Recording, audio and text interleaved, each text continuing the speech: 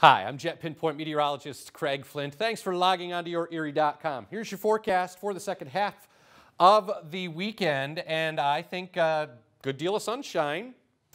It's going to be a brisk breeze again. Temperatures uh, on Sunday will make 37 to 42. So, yeah, cooler, but I, I guess all things considered, still not all that bad. And don't forget, sunset after 7, so get excited about that. Uh, daylight saving time, Monday, more bright sunshine. Breezy, cooler though. High temperatures will be held back mid upper 30s. Tuesday, could be a little bit of a wintry mix early, and then it goes to a regular rain shower. Mid 40s. Wednesday for St. Patrick's Day looks pretty good. Uh, there will be a lot of clouds around on Wednesday. High temperatures make it into the upper 40s to maybe low 50s.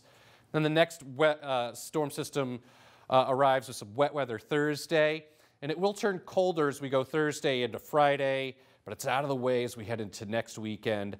I expect a mix of clouds and sun uh, on Saturday and highs in the low 40s. That's your latest forecast. Thanks for logging on to YourErie.com. Enjoy your Sunday.